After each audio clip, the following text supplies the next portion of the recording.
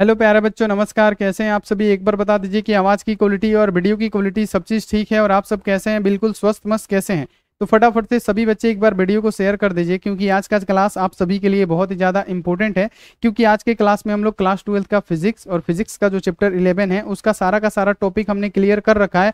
मात्र एक टॉपिक को छोड़ा के, और ये क्यों हमने क्लियर नहीं किया उस क्लास में, क्योंकि क्लास एक लंबा हो जाता और दूसरा ये टॉपिक इंपॉर्टेंट है तो इसलिए इसको अलग वीडियो में हम लाए हैं, ताकि आपको 100 परसेंट समझ में आए। अगर आप ये कर लेते हैं टॉपिक जिसका नाम क्या है? डी बरोगली का तरंग का व्यंजक।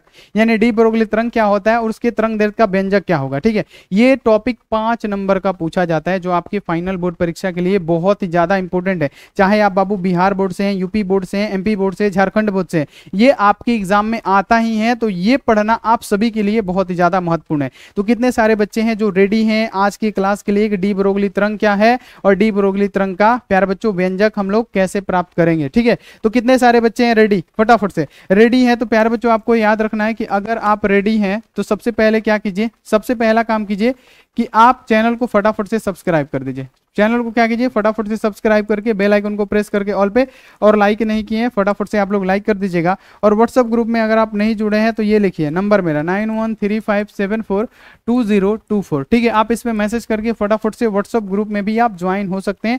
और प्यार बच्चों, ज्वाइन करना ज़रूरी है, क्योंकि आपके पास अब टाइम भी कम है और फटाफट आपको क्लास भी करना है। और हम लोग का सिलेबस भी बहुत जल्दी खत्म होने वाला है, ठीक है? और एक बात बता दें कि अगर आप पीडीएफ नोट्स नहीं लिए हैं, ध्यान में रखिएगा कि अगर आप पीडीएफ नोट्स नहीं लिए हैं, जिसमें क्या हो रहा है, चार सौ निन्यानवे में आपको ऑल सब्जेक्ट का chapter wise objective subjective PDF note सारा चीज़ मिला जाए मतलब दिया जाएगा। तो अगर आप लेना चाहते हैं तो इस नंबर पर संपर्क करके आप ले सकते हैं। तो कितने सारे बच्चे हैं जो रेडी हैं आज का, प्यारे बच्चों? टॉपिक क्लियर करने के लिए डी बरोगली तरंग दर्द का व्यंजक और डी बरोगली तरंग क्या होता है, ठीक है? इनका सिद्धांत क्या है? कौन कौन बच्चे हैं जो रेडी हैं? चलिए रेडी हैं तो प्यारे बच्चों क्लास को शुरू करें। चलिए, यहाँ पे सबसे पहला जो टॉपिक है, आपको क्लियर कर लेना है कि डी ब्रोगली तरंग क्या कहता है। तो सबसे पहले को कहानी सुनिए। कि डी ब्रोगली तरंग क्या कहता है? तो 1924 में, याद रखना है कि 1924 में एक वैज्ञानिक थे, है ना? कौन सा वैज्ञानिक? तो फ्रांसीसी वैज्ञानिक थे। सबसे पहले यहाँ पे लिखिएगा कि 1924 में एक फ्रांसीसी वैज्ञानिक थे जिनका नाम क्या था? De Broglie. उन्होंने क्या बोला कि जो प्रकाश होता है, कण और तरंग दोनों रूप में कार्य करता है। यानी जो प्रकाश होता है, कण और तरंग के रूप में कार्य करता है, ठीक है? यानी डी ब्रोगली तरंग देर के अनुसार, डी ब्रोगली ने क्या कहा? जो प्रकाश होता है, कण के रूप में भी और तरंग के रूप में भी, प्यार बच्चों, कार्य करता है। यानी जो प्रकाश होगा, कण भी होगा और तरंग भी प्रकृति होगी उसकी। यानी प्रकाश जो होता है, उसकी कण प्रकृति भी होती है और तरंग प्रकृति भी होती है। ये क्या कहते हैं? तो प्यार बच्चों, यहाँ पे याद रखना है कि डी ब्रोगली के सिद्धांत के अनुसार कहा जाता है। कुछ परिस्थितियों में क्या होता है, जो प्रकाश होता है, कण के रूप में कार्य करता है और कुछ ऐसी परिस्थितियाँ होती है जिसमें क्या होता है, प्रकाश जो होता है, पैर बच्चों, तरंगों के रूप में कार्य करता है। ठीक है? तो यहाँ पे आपको इतना क्लियर कर लेना है। तो चलिए यहाँ पे डेफिनेशन के माध्यम से हम लोग समझते हैं कि डी ब्रोगली के अनुसार क्या होता है। याद रखना है कि डी ब्रोगली तरंग है तो डी ब्रोगली तरंग के अनुसार क्या होगा प्यारा बच्चों? कि प्रकाश में, याद रखना है कि कण तथा तरंग दोनों की प्रकृति पाई जाती है। प्रकाश में कण तथा तरंग दोनों की प्रकृति पाई जाती है। कुछ परिस्थितियों में जो प्रकाश होता है, याद रखना है कि कुछ परिस्थितियों में, याद रखना है। अर्थात कुछ परिस्थितियों में जो होता है, प्यारे बच्चों, आपको याद रखना है कि ये कण की तरह कार्य करता है और कुछ परिस्थितियों में क्या करेगा, प्यारे बच्चों, ये तरंग के रूप में कार्य करेगा, ठीक है? इसीलिए इसको क्या बोला जाता है? प्रकाश की द्वैत प्रकृति भी कहा जाता है, दोहरी प्रकृति भी कहा जाता है, ठीक है? तो इतना आपको क्लियर हो गया।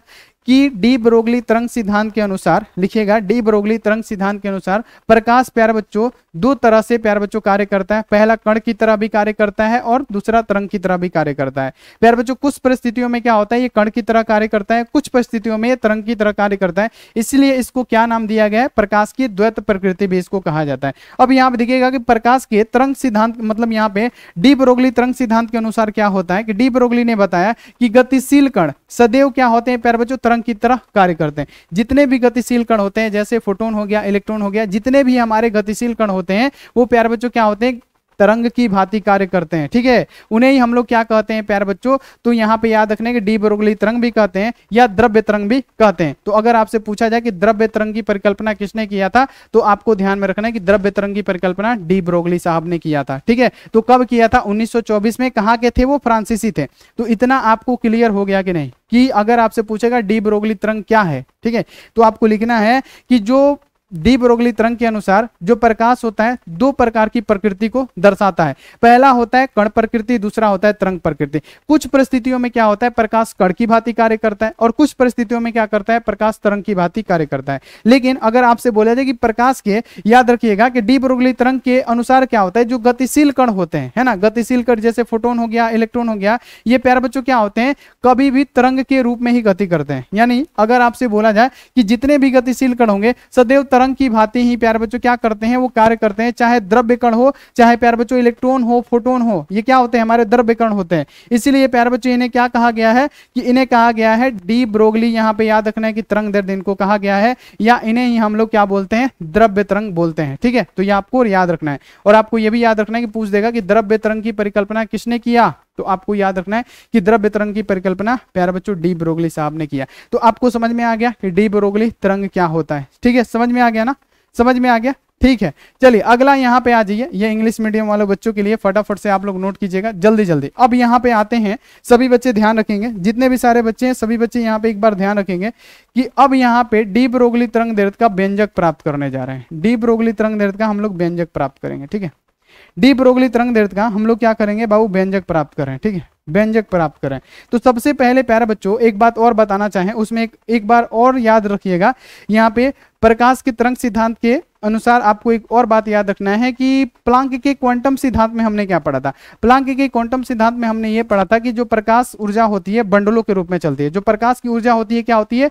छोटे छोटे बंडलों के रूप में चलती है। तो उसका सूत्र क्या हो जाता है? इजकल टू क्या होता है? एच होता है, ठीक है? तो हमको क्या करना है? प्रकाश का यहाँ पे याद रखना डी बरोगली तरंग दर्द का सिद्धांत यानी सॉरी डी बरोगली तरंग दर्द का हमको व्यंजक प्राप्त करना है। तो सबसे पहले हमको क्या करना पड़ेगा? प्लांक के क्वांटम सिद्धांत के अनुसार प्रकाश की ऊर्जा लिखनी पड़ेगी। तो क्वांट, यहाँ पे याद रखिएगा कि प्लांक के क्वांटम सिद्धांत के अनुसार प्रकाश की जो ऊर्जा होती है, क्या होती है प्यारा बच्चों? ए इजकल टू एच होती है। तो सबसे पहले हम लिख देंगे यहाँ पे, याद रखिएगा कि सबसे पहले लिखेंगे हम लोग प्लांक के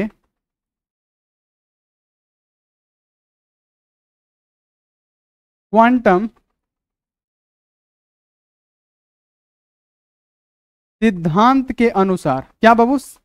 प्लांक के क्वांटम सिद्धांत के अनुसार ऐसे लिखिएगा जैसे हम लिख रहे हैं, ठीक है? अनुसार, प्रकाश की ऊर्जा।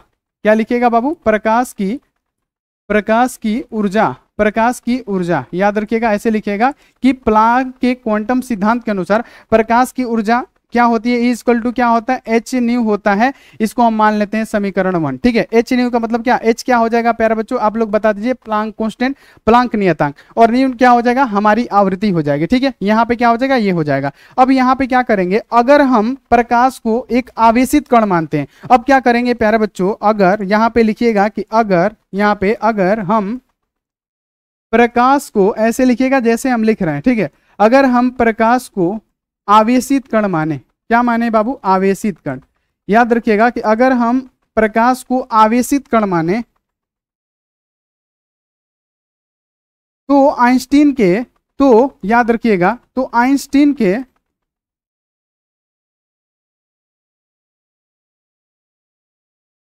सापेक्ष सिद्धांत के अनुसार, आइंस्टीन के क्या पैरा बच्चों? याद रखिएगा कि सापेक्ष सिद्धांत के अनुसार, आइंस्टीन के सापेक्ष लिखिएगा ऐसे सिद्धांत के अनुसार। जैसे जैसे लिख रहे हैं वैसे वैसे आइंस्टीन के सापेक्ष सिद्धांत के अनुसार लिखिएगा,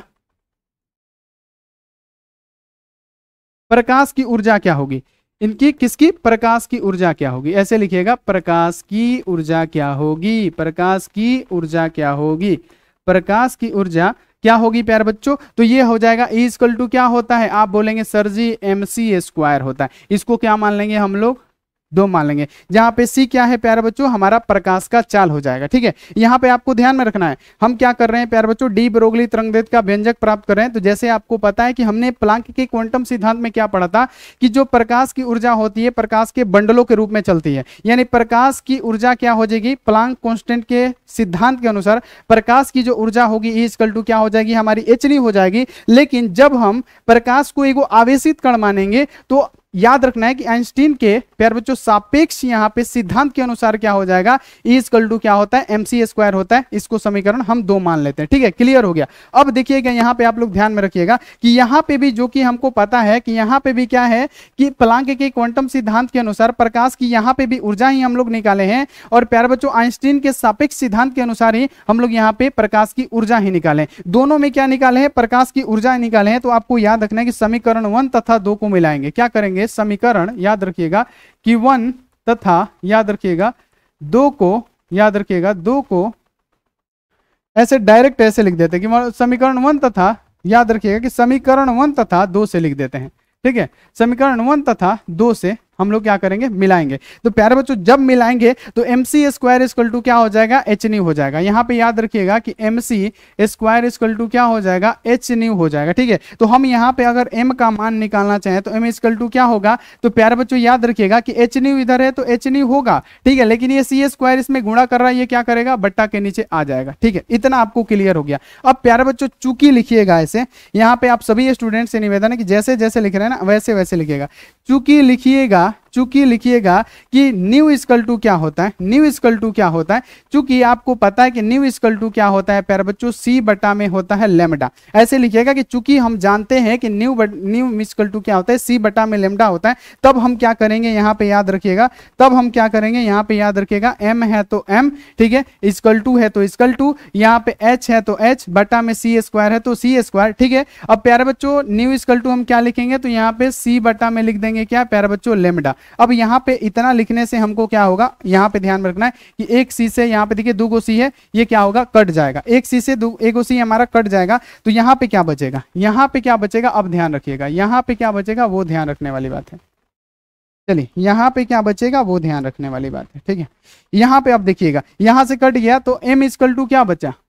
एम इजकल टू क्या बचा प्यारा बच्चों? एम इजकल टू बचा क्या? यहाँ पे एच सी यहाँ पे दो गो सी है तो एक गो सी कट गया तो एच सी लेमडा बचा। तो यहाँ पे क्या बचा? हमारा एच और सी और यहाँ पे क्या बचा? हमारा लेमडा बचा। सॉरी नहीं नहीं एच बटा सी लेमडा बचा। देखिए, गलत लिख रहे हैं। यहाँ पे क्या बचा? याद रखिएगा, ऊपर एच है और सी लेमडा यहाँ पे नीचे बचा। यहाँ पे क्या बचा? सी लेमडा हमारा नीचे बचा। ठीक है, इतना आपको क्लियर हो गया। अब क्या करेंगे? फोटोन को हम प्यारे बच्चों क्या मारेंगे? आवेश का मतलब कहने का मतलब क्या? फोटोन को क्या मारेंगे? आवेश का प्यारे बच्चों क्या मानेंगे? प्यारे बच्चों ये मान लीजिए कि फोटोन को हम क्या मानेंगे? तो फोटोन को हम लोग क्या मानेंगे? आवेशित प्यारे बच्चों, यहाँ पे मानेंगे क्या? आवेशित, इसको मानेंगे फोटोन को आवेशित अगर हम यहाँ पे द्रव्यमान मान लेते हैं, ठीक है? एक काम कीजिए, फोटोन को अगर हम क्या करते हैं प्यारे बच्चों, एक आवेशित यहाँ पे मान लेते हैं कि वेग है तो उसका संवेग क्या होगा? फोटोन एक आवेशित कण है तो उसका संवेग मान लेते हैं, ये मानेंगे कि अगर, यहाँ पे लिखेगा कि अगर अगर फोटोन आवेशित कण है।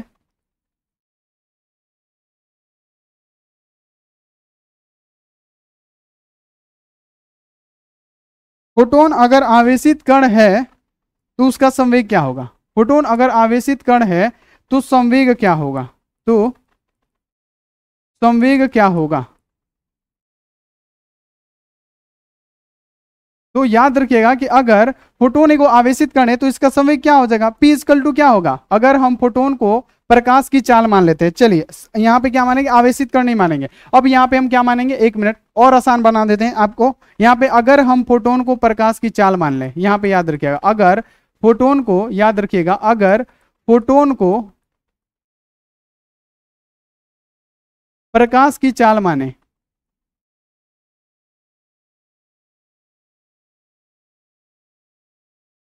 की चाल माने, याद रखिएगा, प्रकाश की चाल माने तो क्या होगा? P स्कल टू क्या हो जाएगा, प्यारे बच्चों? याद रखना है कि M और टू क्या हो जाएगा? C, क्योंकि हमने क्या माना है? फोटोन को प्रकाश की चाल माना है तो P स्कल टू क्या हो जाएगा? M इंटू सी हो जाएगा। अब क्या करेंगे? यहाँ पे आप लोग ध्यान रखिएगा। अभी सभी बच्चे यहाँ पे ध्यान रखेंगे। P है तो P अब यहाँ देखिए, P है तो P, अब यहाँ पे equal to equal to M की जगह पे हम क्या रखेंगे? तो एम का मान हमारा कितना निकला? एम का मान निकला एच बट्टा सी लेमडा तो यहाँ पे क्या लिखेंगे? P है तो P एम की जगह पे लिखेंगे एच बट्टा सी यहाँ पे क्या हो जाएगा? लेमडा इनटू क्या हो जाएगा? सी हो जाएगा। जब यहाँ पे आपको इतना पता लग गया तो आप क्या कीजिएगा कि यहाँ से एगो सी इसको और यहाँ पे एगो सी इसको। हम क्या करेंगे? कटा देंगे। यानी अगर आपसे बोले तो यहाँ पे हमारा क्या बनेगा? यहाँ पे याद रखिएगा।